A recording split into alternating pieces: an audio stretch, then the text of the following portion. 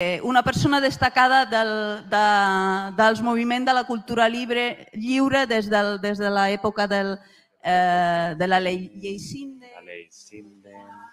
Y desde antes, dels, dels comuns digitals, desde el momento en el que se inició ese debate sobre los comunes digitales, es uno de los pocos académicos que han teorizado desde las barricadas, tiene muchísimas competencias. Joan ha sido muy inspirador y compañero de viaje en relación a la materia en la que estamos trabajando aquí hoy en el ámbito, decía, del Open Science, del Open Knowledge, del Open Code, del Public Code, etc. Más concretamente,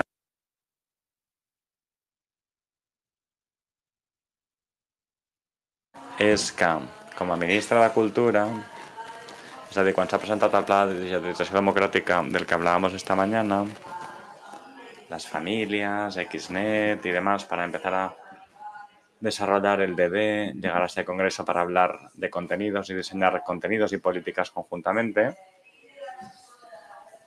Bueno, él era concejal de Cultura del Ayuntamiento de Barcelona y fue en realidad gracias al hecho de que él haya aceptado ese plan de digitalización que finalmente se pudo desarrollar el DD. Entonces, la interlocución que siempre mantuvimos con Joan Subirats fue muy diferente a la mantenida con otras instituciones, como se ha dicho anteriormente. ¿no? Hay muchas instituciones que no entendían de dónde venía la problemática. Y Joan Subirats, como ha trabajado con esta problemática, entiende perfectamente la problemática que queremos resolver y la imperiosa necesidad de resolverlo. institucional i hem demanat de fer una intervenció com moltes de les companyes Le hemos pedido que intervenga no en calidad de ministro, sino en calidad de experto en la materia. Y que nos cuente des- desde su experiencia en qué punto nos encontramos y cómo podemos avanzar hacia la DD de la que estamos hablando. Gracias, Joan, por estar aquí entre nosotros y tienes la palabra. Molt bé. Moltes gràcies, Simona. Gràcies per la presentació i gràcies per... Gracias, gracias, Simona. Y gracias por invitarme a compartir pensamientos y reflexiones en el marco de este congreso.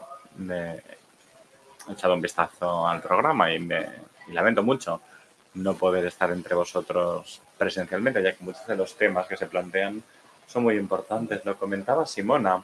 Hace muchos años que somos varios, o muchos, los que venimos debatiendo sobre esta idea de la tecnología entendida como un elemento instrumental y también utilitario.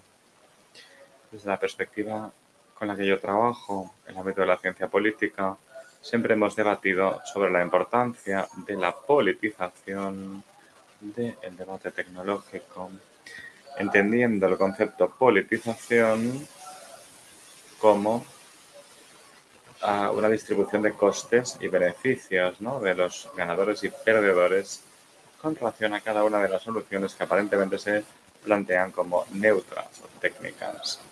Hace años que, bueno, parece que Simona me había oído hablar de esta temática, ¿no? Hace años que digo que el Internet no es un... En fin, Internet no es un nuevo martillo que ahora tenemos para poder clavar mejor los antiguos clavos. No, el dique de Alemania es otro mundo de relaciones sociales y lo mismo pasa en cualquier ámbito, en inteligencia artificial, etc. Es una tecnología de lo que llamamos objetivos generales, ¿no? Como pudo ser la máquina de vapor, que transformó radicalmente las formas de las ciudades, las formas de relación, etc. Y aquí acontece lo mismo, ¿no? Lo mismo acontece con el Internet y con la distribución y la evolución, podríamos decir, y desarrollo de la inteligencia artificial. Es tan importante, podríamos decir, que no se acepte como una simple mejora el hecho que determinadas plataformas tecnológicas empiecen a ofrecer servicios al sistema educativo, podríamos decir, de manera gratuita y de manera sumamente cómoda, solucionando aparentemente muchos problemas, pero generando otros y ocultando la carga política que tiene precisamente esta, esta oferta ¿no? educativa, aparentemente benéfica, de plataforma tecnológica que viene a facilitar la mejora educativa. Es evidente que desde el punto de vista educativo las nuevas tecnologías o las antiguas tecnologías, llámese como se quiera, son una transformación positiva desde diferentes puntos de vista. Es evidente también que lo que estamos haciendo actualmente o lo que aconteció con la pandemia desde el punto de vista del uso de herramientas en línea o el boom de muchos de estos ámbitos, pues supone un cambio espectacular. No obstante, problematizar esta cuestión, el debatir siempre políticamente la distribución de costes y beneficios, ganadores y perdedores, es una práctica que me parece a mí fundamental. Por eso cuando Simona nos planteaba o nos planteó en el ayuntamiento esta, este inicio, ¿no? Surgido de plataformas, de familiares, de AMPAs, de escuelas preocupadas por el desembarco de las plataformas en el ámbito de la escuela, pues dije yo, bueno, tenemos que intentar lograr una cierta capacidad de desarrollo, que se pueda trabajar en ese campo, ¿no? Mm, y que se pudiese plantear no únicamente el debate sobre cuál es la plataforma más útil, sino también cómo se gobiernan las plataformas, cómo se gobiernan los instrumentos, quién se beneficia, quién controla los datos, cómo se mantienen los datos en el ámbito del uso común y demás. ¿no? También es sumamente importante, y es una preocupación que hemos planteado también con Simona, el evitar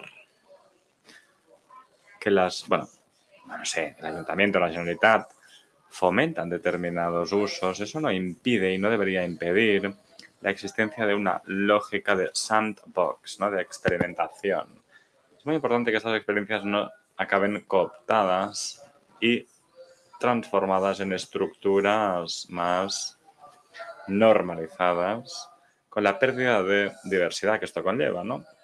Y con la pérdida de adaptación al terreno que esto conlleva.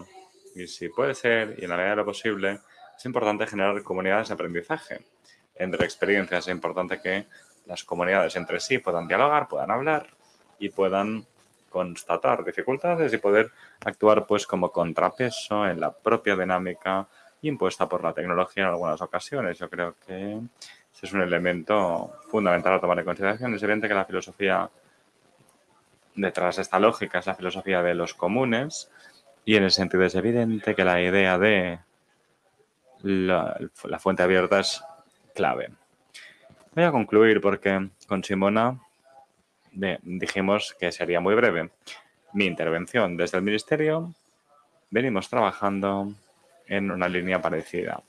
Una sería, bueno, la semana pasada lanzamos un curso en la Universidad Internacional Menéndez Pelayo de Santander sobre ciencia abierta y sobre lo que conlleva desde el punto de vista de cambio en los sistemas de evaluación de la investigación y de lo que implica también en cuanto al conflicto existente con las grandes editoriales que controlan los, diarios, las revistas, mejor dicho, los journals, y que generan una situación de revistas depredadoras que hacen pagar por la publicación de los artículos en las mismas y todo el debate al respecto. Yo creo que la Unión Europea, la Comisión, está preparando un informe que de hecho se presentó la semana anterior en Santander que gira en esa línea y que desde luego creará tensiones y creo que los límites entre la investigación científica y la producción de conocimiento a través de código abierto con una promoción de la facilitación de los datos, ¿no? Porque claro, toda investigación, bueno, estamos muy acostumbrados a que muchas investigaciones se basen sobre la base de bases de datos ya utilizadas y que no han sido compartidas. Con lo cual, no se trata tanto de compartir los resultados de la investigación, sino también de compartir los datos producidos en el marco de esas investigaciones. Es sumamente importante y acabará generando problemas de definición de las fronteras entre el ámbito científico y el ámbito más divulgativo, con lo que estoy entrando desde el punto de vista de los derechos de autor y demás. Creo que es un tema que irá, pues desde luego, surgiendo. Hace tiempo que sabemos que el conocimiento no es un bien rival, mientras que la apropiación de derechos, pues hace años sabemos, genera muchísimos problemas. Pues hay un segundo aspecto a tomar en consideración estamos impulsando desde el Ministerio. De hecho, esta semana ah, hemos planteado un curso abierto en la Pelayo de Santander sobre ciencia ciudadana, que es otro factor sumamente importante en la ciencia, ¿no? La capacidad de incluir a la ciudadanía en la elaboración de conocimiento, la producción de conocimiento. En España hay una comunidad potente. En realidad España ocupa la primera posición en Europa en la generación de redes ciudadanas, no obstante se ubica lejos de lo existente actualmente en Estados Unidos o en Reino Unido. Con lo cual es muy importante que se fomenten estas experiencias y también que se premie desde el punto de vista de la investigación el hecho de poder trabajar ah, sobre la base de la ciencia ciudadana. Es muy importante. Se habla de la distancia existente entre el conocimiento científico y los cambios en la conducta de las personas. Cuando se incorpora a las personas en la definición de la investigación y en el proceso de investigación, la capacidad de cambiar las conductas es muy superior, porque existe un proceso de compartir no únicamente la definición del problema, sinó també los resultados. Altres, diguem-ne, organismes que financien la recerca parlen molt de la disseminació de la recerca, la divulgació de la recerca, estan ja partint de la hipòtesi que hi ha una separació clara entre ciència i ciutadania. Entonces, la ciencia ciudadana tiene por objetivo incorporar este factor de ciudadanía en el proceso. Y el tercer aspecto que también me gustaría comentar tiene que ver con la inteligencia artificial. Moltes vegades de considerar que aquests temes tecnològics... Se considera que... És de tecnòlegs i, en, canvi, eh, cada vegada està més clar que només a través de lògiques interdisciplinars i transdisciplinars Ha habido una interrupción, disculpen. Rodegen els elements de, de com deia abans, d'aquestes tecnologies de general purpose, no? d'objectiu general, ¿no?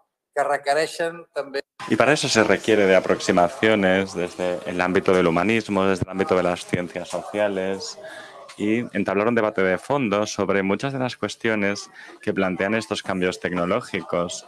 Hay quien destaca que Europa ha perdido esa carrera, ¿no? Desde el punto de vista de la innovación tecnológica. No obstante, probablemente Europa todavía tiene muchas probabilidades de ser potente a nivel global desde el punto de vista de la regulación, del debate de los derechos, la relación entre ganadores y perdedores, la inteligencia artificial, etc. Son aspectos estos que desde el punto de vista de la universidad debemos intentar trabajar para romper las lógicas basadas en silos, estas lógicas fragmentadas de la ciencia.